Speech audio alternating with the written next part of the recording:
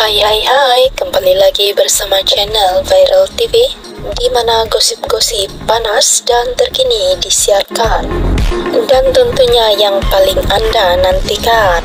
Terima kasih atas sokongan Anda semua. Jangan lupa tekan butang subscribe dan tekan lonceng, like, komen, dan share. Buang sikit busuk hati tudik, kesian akan Ira Khazar individu minta Putri Sarah jauhkan diri dengan mentua. Walaupun konflik rumah tangga pelakon jelita Putri Saraliana dan pengarah sensasi Syamsul Yusof telah berakhir secara baik pada 14 Jun lalu namun masih timbul kontroversi yang tidak berkesudahan.